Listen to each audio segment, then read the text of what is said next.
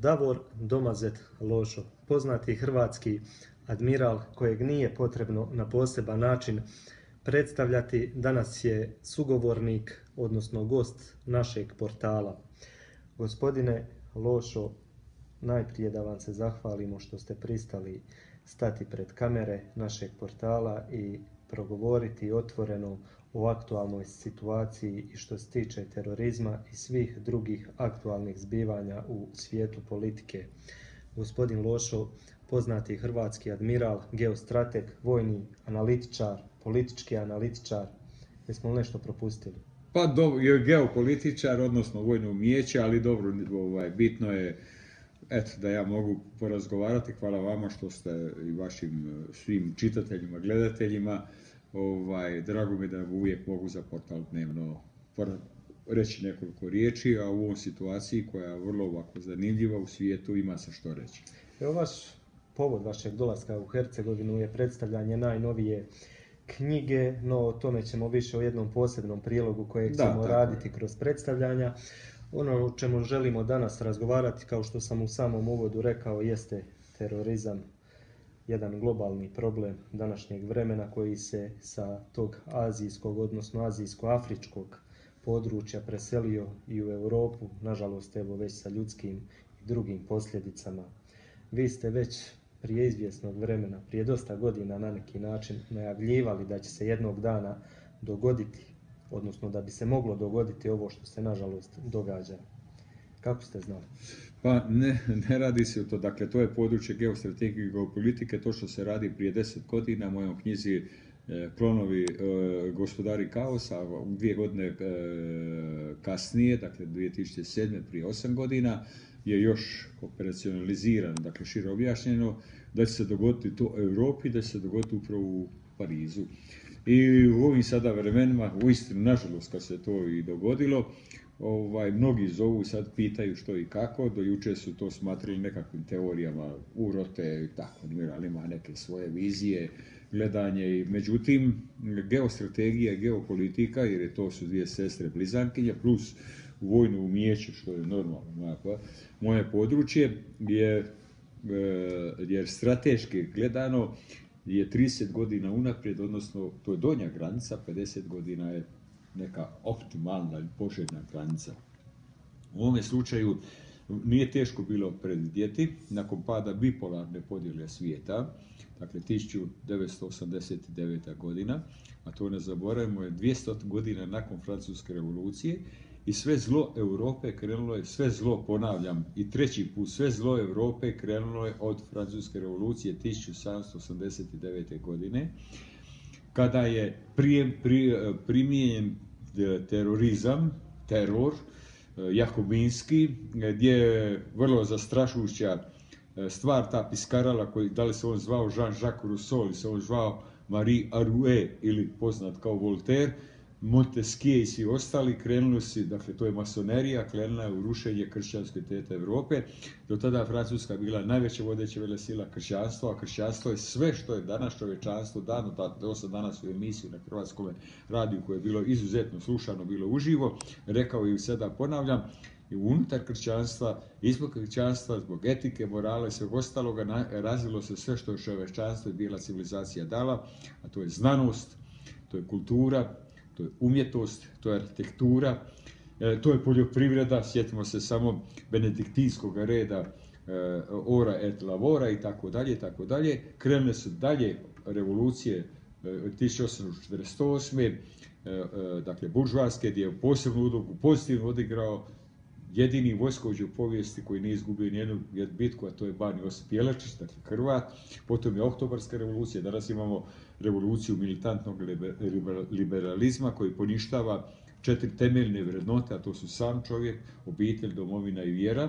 I Europa je morala platiti cijenu tih svojih zabluda e, i koja će se isprazniti, a to iz, odnosno iz staroga zavjeta od proroka Jeremije, to je takozvano objektivizirano zlo, ono se mora isprazniti, negdje dogodilo se ovo što se dogodilo.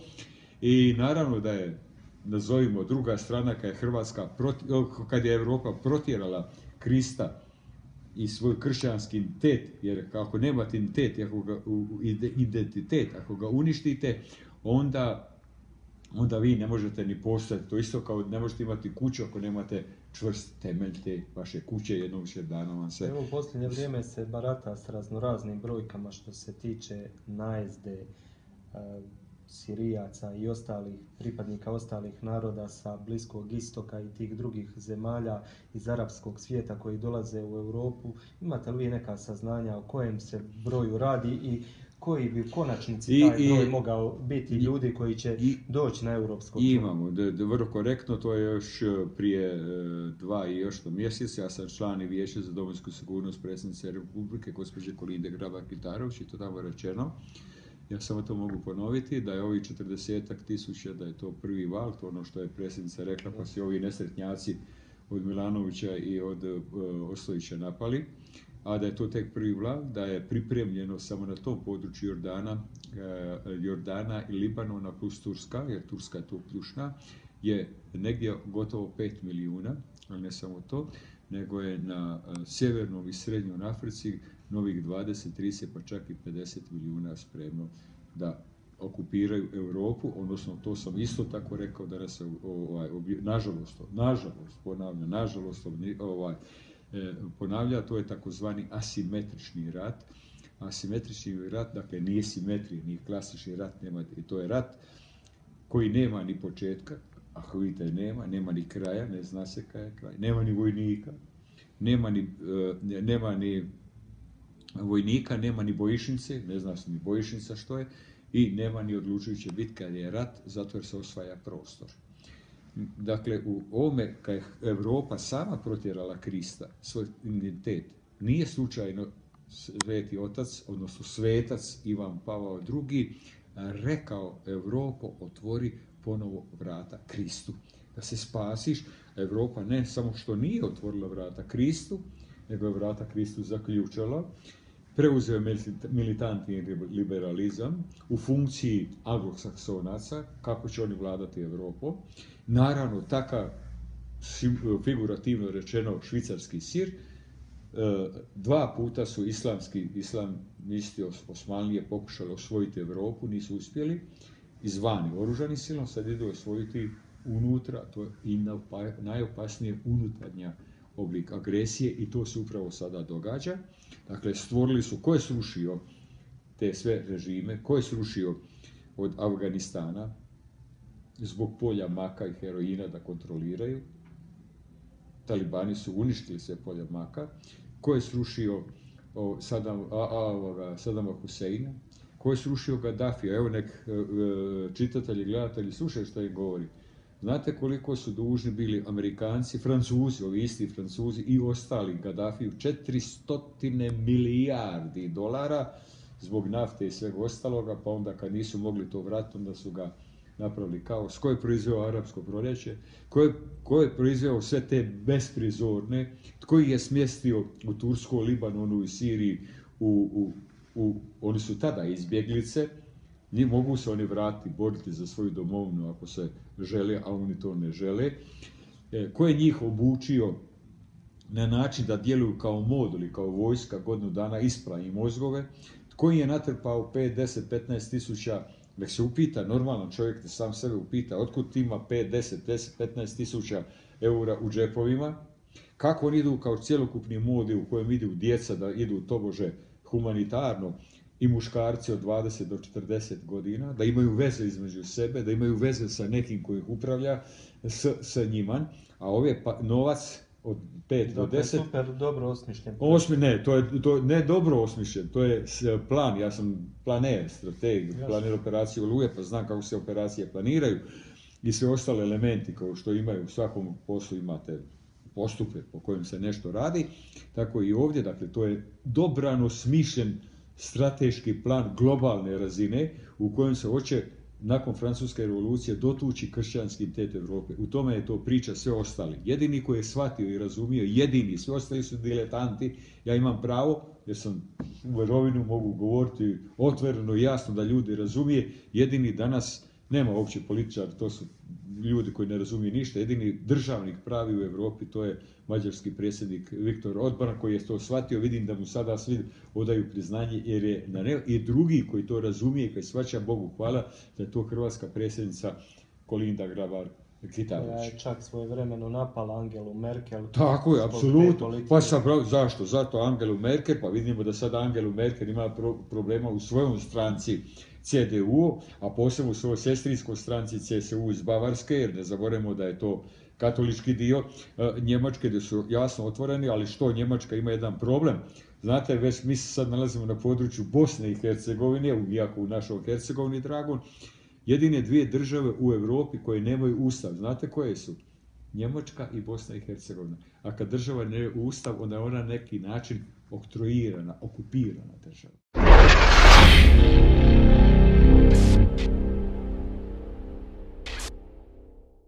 Dobro, evo možemo još se trenutak zadržati ipak na Hrvatskoj iz razloga što smo spomenuli Angelu Merkel i Njemačku. Jučer je njemački Bild objavio jedan tekst vezan za knjigu Bruno Šira se zove autor koji je radio knjigu o Isilu, o novom džihadu i on je tamo između ostalog u svojoj knjizi dijelom prozvao i vladu Republike Hrvatske kako ima vezu sa Isilom. Ne znam jeste li popratili taj tekst, mi smo ga jučer od njih preuzeli, prenijeli. E, znači objavio je u toj knjizi između ostalog e, hrvatsku vladu u kontekstu da surađuje s Isilom na način da od njih kupuje naftu, a prodaje oružje.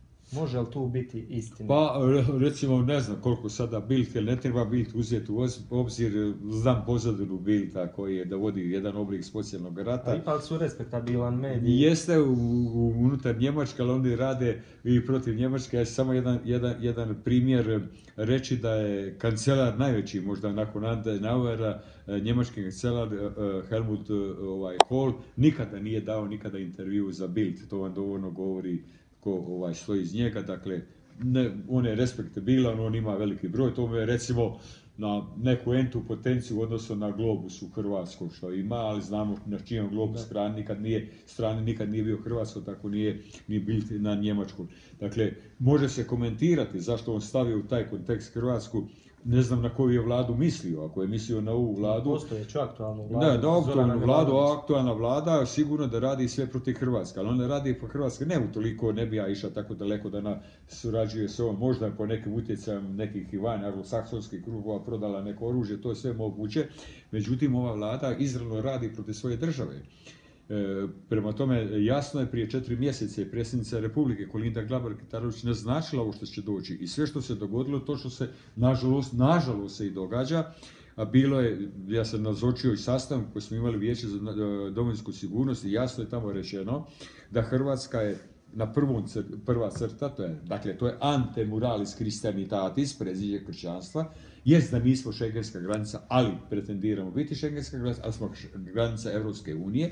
Prema tome vi morate da bi spriječili, jer je to asimetrični rat koji nema ni vojnika, što smo rekli, ni, ni početka, ni kraja, ni bojišnice i tako dalje, način da vi kontrolirate ulaz i bila ideja da bude dva granična prelaza, Hrvatska država je samostalno mora štititi, to je Bajakovo i Erduht, Ostalo se zatvori sa oružanim snagama, to je svake to asimetrični rat, to nije oružje da nosiš protiv nikoga, niti porabiti, ne daj Bože, i da se kontrolira, pa dnevno ne više od 50 do 100, koji ćete vi vidjeti da će i otisak prsti, i zjenice oka, i izvitati putovnicu i vidjeti, onda vidite kojima se to radi.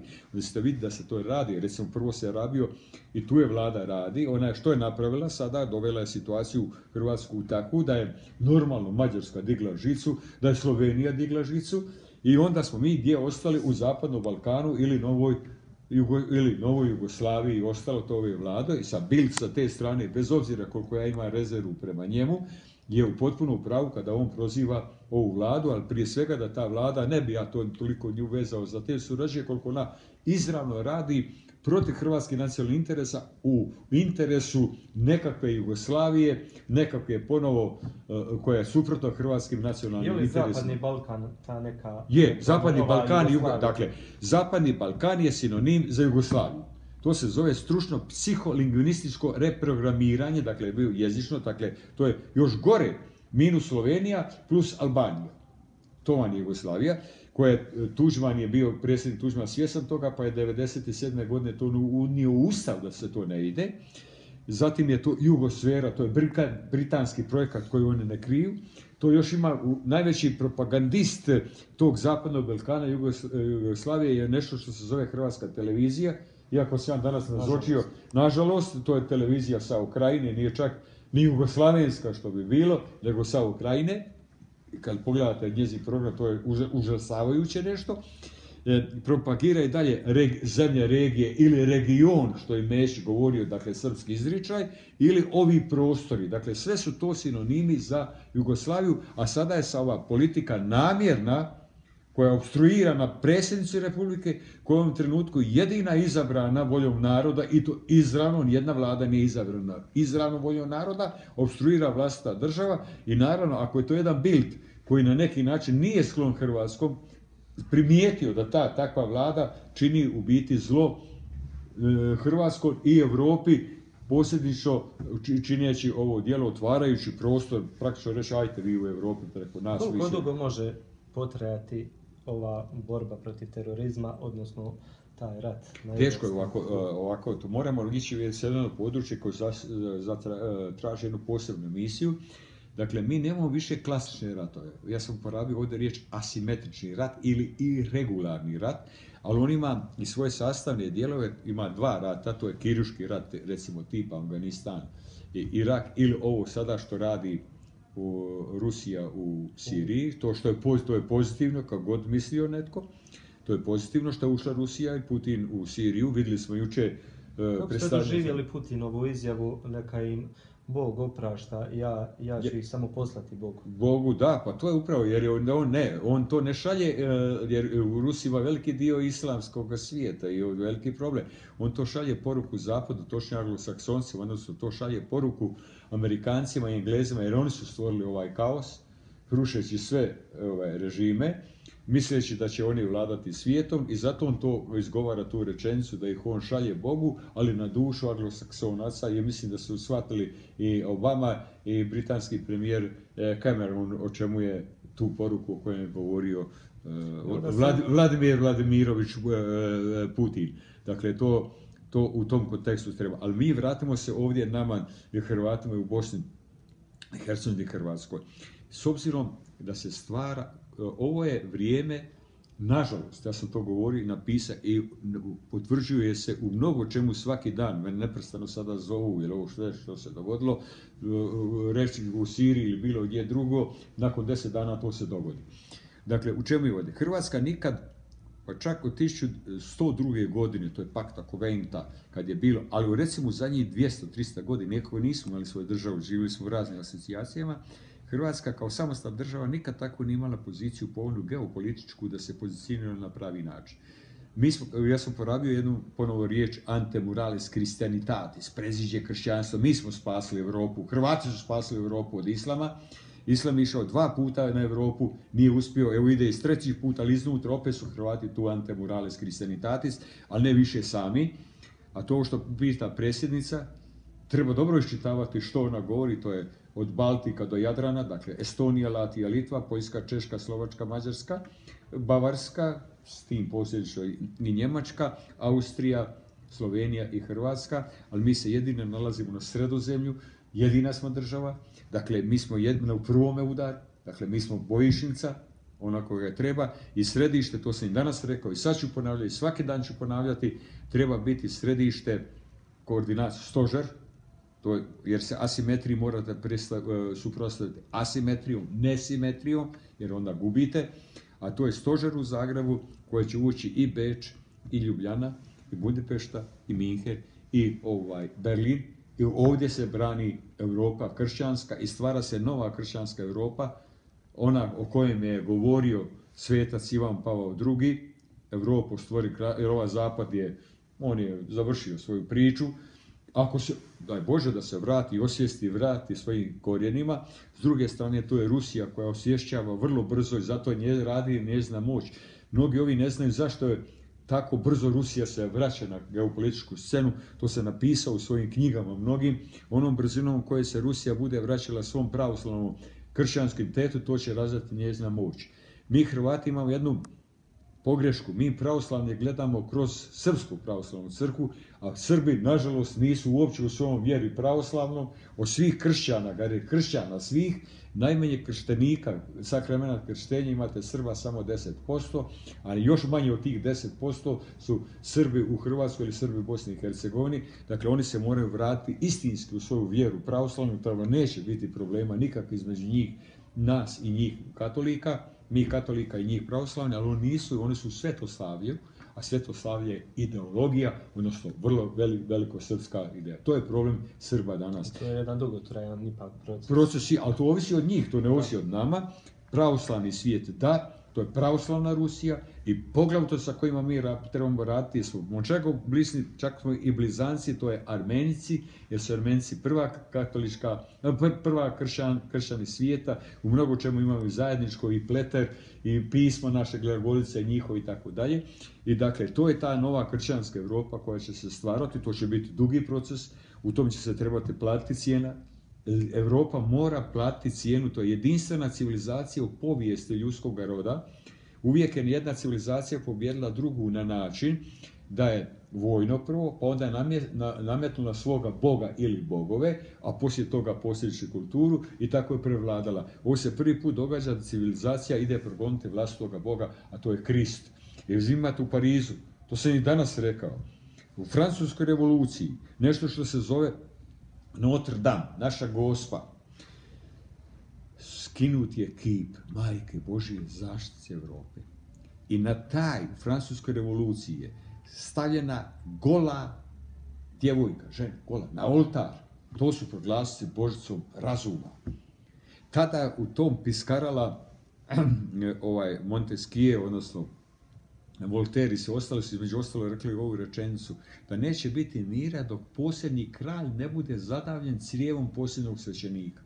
Oni su ti koji su instalirali teror, a nama prodavali ovaj, e, ovaj, one parolu, ili poznatu, e, e, sloboda, bratstvo jednakost, dakle, liberté, fraternité, egalité, kao nešto do dosega, a to je u biti tada krenulo sve zlo ove Europe i završilo se ovdje gdje smo došli, na, zato se to dogodilo u, u Parizu. Na zapad ne trebamo računati, niti on potreba, dolazi nova igra, Hrvatska ima svoje značenje, Bogu hvala da je sačuvala svoj kršćanski, katolički identitet, to tražiti u suglasu sa pravoslavljem, ne svetoslavljem, to Srbi trebaju da riješiti sami za sobom, mi ne trebamo ništa se petati u njihovo, kad se osvijeste, ako se daje Bože da se jednog, možemo moliti da se jednog dana osvijeste, i onda može se ići naprijed. Dakle, ja sam optimist, ali zbog ove, ove pogreške, da ne kažem grijehe, ja nisam teolog, ali sam geostrategov političar, se može Europa i mi Hrvati imamo perspektivu jer smo mi sad postali gravitacijska stožerna točka na sredozemlju